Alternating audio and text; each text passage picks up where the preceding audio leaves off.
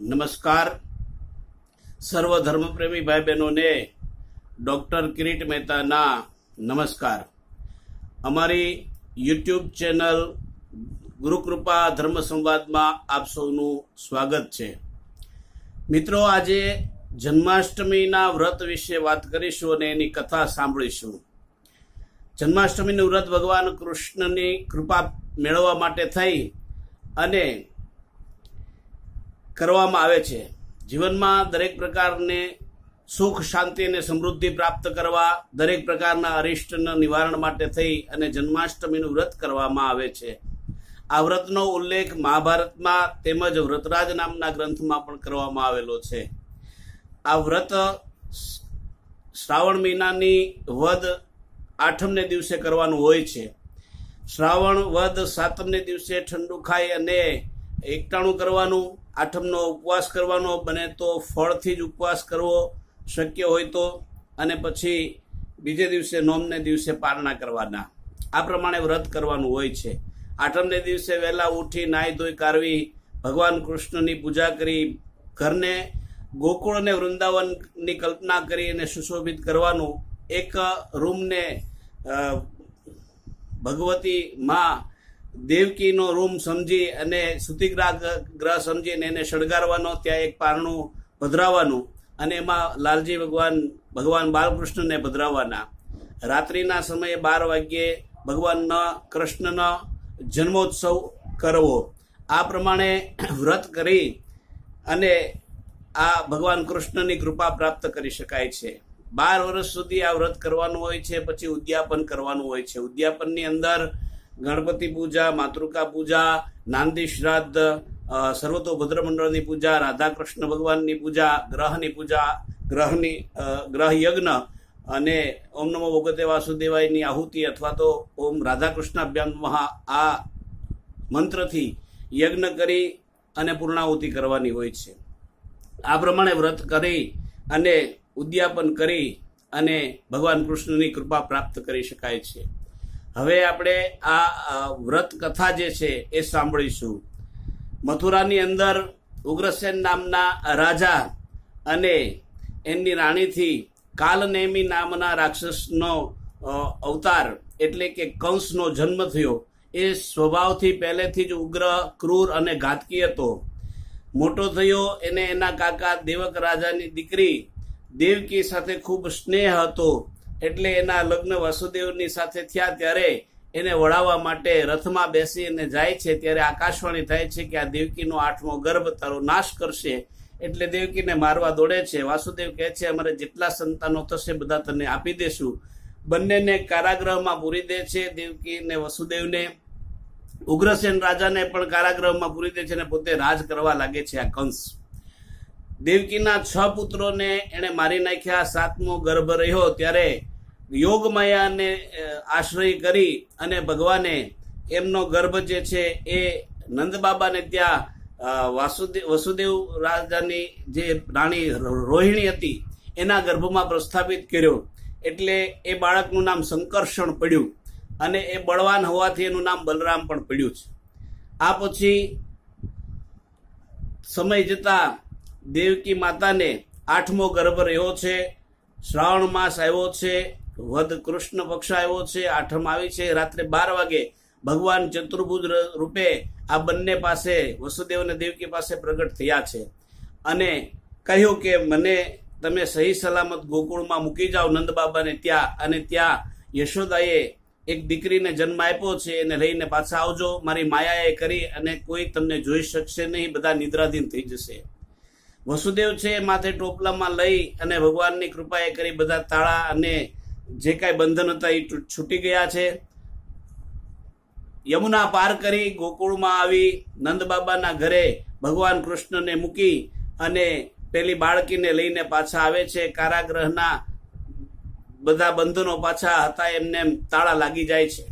સવારે કંસને ખબર પડે છે, આવે છે પેલી બાળકીને મારવા માટે થઈને ગોળ ગોળ ફેરવીને જ્યાં શિલા ઉપર પછાડે છે, ત્યાં પેલી બાળકી આકાશમાં ઉડીને કહે છે કે તારો મારનાર તો ક્યારનો સલામત સ્થળે પહોંચી ગયો છે.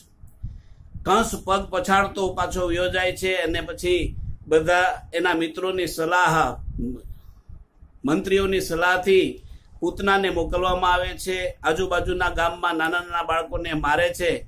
ભગવાન કૃષ્ણ પૂતનાનો સંહાર કરે છે, ત્યાર પછી તૃણાવર્તને મોકલવામાં આવ્યો. એનો પણ ભગવાન કૃષ્ણ સંહાર કરે છે. શકટાસુરને મોકલવામાં આવ્યો, એનો પણ ભગવાન કૃષ્ણ સંહાર કરે છે. આ પ્રમાણે બાલ્યાવસ્થામાં ત્રણ અસુરોનો ભગવાને ખૂબ નાશ કર્યો છે, માત્ર સવા મહિનાની અંદર. ત્યાર પછી ભગવાને ગોકુળની અંદર, ત્રણ વર્ષથી પાંચ વર્ષની અંદર માખણની લીલા કરી અને ગોપીઓના મન હર્યા છે. ગાયો ચારવાની ઉંમર થઈ એટલે ભગવાન ગાયો ચારવા જાય છે ત્યાં યમુનાને કિનારે ધેનુ બકાસુર, અઘાસુર નો નાશ કર્યો છે. ધેનુકાસુરનો નાશ કર્યો છે. કાલિય નાગ જે છે એ યમુનાનું જળ દૂષિત કરતો હતો, એને નાથ્યો અને એને રમણક દ્વીપમાં મોકલી દીધો છે. ત્યાર પછી ભગવાને ધેનુકાસુરનો નાશ કર્યો, દાવાગ્નિનું પાન કર્યું અને વરુણના લોકમાંથી નંદબાબાને પાછા લાવ્યા છે. આ પછી ઇન્દ્રનો યજ્ઞ અટકાવી અને ગોવર્ધન પૂજા કરાવરાવી ઇન્દ્ર કોપાયમાન થયા. સાત દિવસ સુધી ખૂબ વર્ષા મોકલી છે. આખા ગોકુળને, વૃંદાવનને, વ્રજને ટચલી આંગળીએ ભગવાન ગોવર્ધન ધારણ કરી અને ગોવર્ધનના શરણે બધાને રાખી અને રક્ષણ કર્યું છે. ત્યાર પછી ભગવાને રાસલીલાનું અને વસ્ત્રાહરણની લીલા કરી છે. આ બાજુ કંસને ખબર પડી કે ગોકુ વૃંદાવનમાં જે કૃષ્ણ છે, એ જ મારો કાળ છે એટલે ધનુર્યાગ કરવાનો વિચાર કર્યો છે. મંત્રીઓની સલાહથી અક્રૂરને તેડવા મોકલે છે. બંને ભાઈઓ અને ગોપ ગોવાળોને નંદબાબાને લઈ અને અક્રૂર છે મથુરા આવે છે. ધનુર્યાગમાં જો ધનુષ તૂટી જાય તો યજમાનનું મૃત્યુ થાય. આગલે દિવસે ભગવાન મથુરામાં બધાને દર્શન દેવા રાજમાર્ગ પર નીકળે છે અને ફરતા ફરતા જ્યાં ધનુષ આ કંસે રાખ્યું હતું, એનો નાશ કરે છે.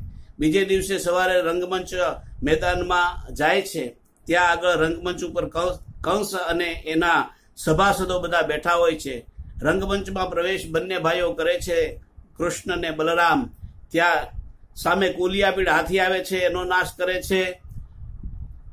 મલ્લો જે આવે છે સામે ચાણુર અને મુષ્ટિક, એનો પણ નાશ કરે છે અને બીજા રાક્ષસોને, એટલે કે મલ્લોને મારે છે. ત્યાર પછી કંસને પકડીને મારે છે કે તે અમારા માતા પિતાને ખૂબ ત્રાસ આપ્યો છે.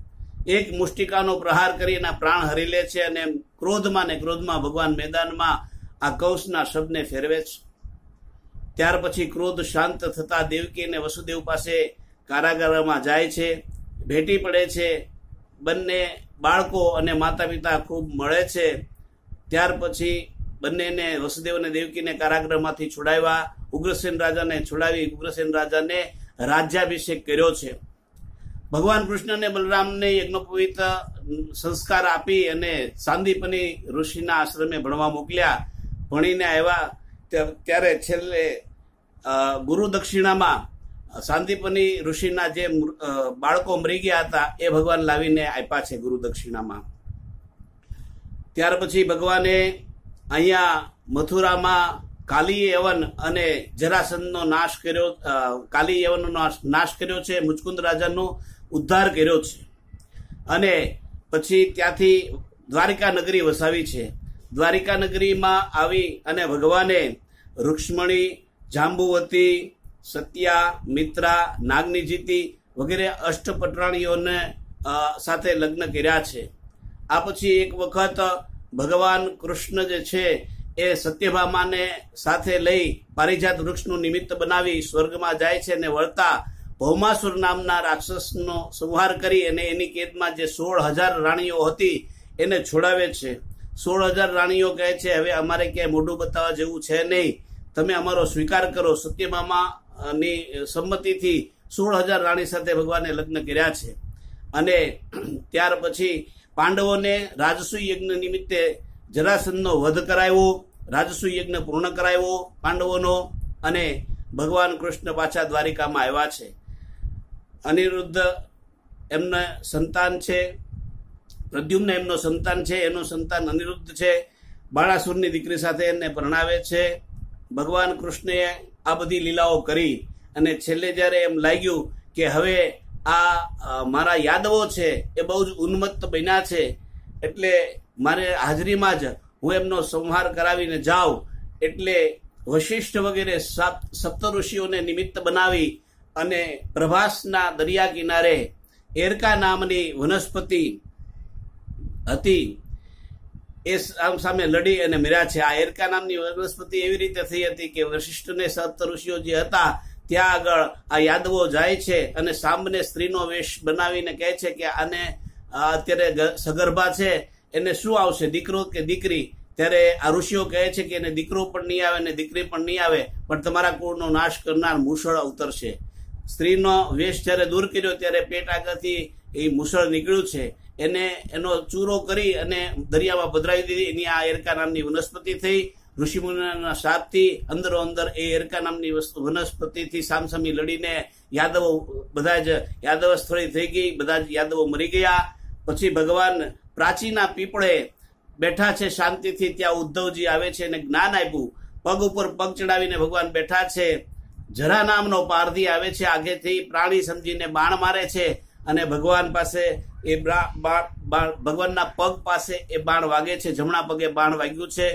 આ જરા નામનો પારધી છે, એ ખૂબ પસ્તાવો કરે છે. ત્યારે ભગવાન કહે છે કે પૂર્વજન્મ પૂર્વજન્મમાં તું વાલી હતો અને ત્યારે મેં તને આ રીતે માર્યો હતો. આજે તે એ આપણું ઋણાનુબંધનો જે હિસાબ છે એ પૂર્ણ કર્યો છે. આ પ્રમાણે જરા નામના જે પારધીને ત્યાંથી મુક્ત કરી અને ભગવાન પોતે સ્વધામે ગોલોક ધામમાં જાય છે અને આ પૃથ્વીનો ભાર હળવો કર્યો છે. મિત્રો, ભગવાન કૃષ્ણએ ભગવાન વિષ્ણુએ આ પ્રમાણે કૃષ્ણ જન્મ ધારણ કરી અને પૃથ્વીની ઉપર જે કાંઈ રાક્ષસો ને અસુરો હતા એનો નાશ કરીને પૃથ્વીનો ભાર હળવો કર્યો. ગોપ ગોપીઓ જે છે એને ભગવાને પ્રેમ લક્ષણા ભક્તિ આપી, એમનો ઉદ્ધાર કર્યો. જે ગોપ ગોપીઓને ભગવાન કૃષ્ણ ફળ્યા, એવું આ જન્માષ્ટમીનું વ્રત કરનાર સૌને ફળે એવી અભ્યર્થના. મિત્રો, આ પ્રમાણે વ્રત કરી અને ભગવાન કૃષ્ણની ખૂબ પ્રસન્નતા પ્રાપ્ત કરી શકાય છે. જો આ વીડિયો આપને પસંદ આવ્યો હોય, તો અમારી ગુરુકૃપા ધર્મ સંવાદ જે ચેનલ છે એને નીચે લાલ કલરમાં સબસ્ક્રાઇબ લખેલું છે. ત્યાં ક્લિક કરશો, અમને લાઇક આપશો, અમને પ્રોત્સાહન આપશો. આ પ્રમાણે અમે અવારનવાર ધર્મની બાબતના, જ્યોતિષની બાબતના, સત્સંગ બાબતના આ બધા વીડિયો લઈ, નવા નવા વિષયો લઈને આપણી, આપની સમક્ષ આવ્યા કરશું. આજે બસ એટલું જ. અસ્તુ ગુરુદેવ દત્ત.